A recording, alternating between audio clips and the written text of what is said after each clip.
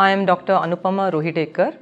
I am a senior consultant in obstetrics and gynecology working at the Columbia Hospital at Hebbal. Since the technology of laptops and mobiles is relatively new and we have no data or research which tells us the harmful effects of such radiation, I would recommend that the uh, exposure to radiation from these gadgets is limited to the minimum.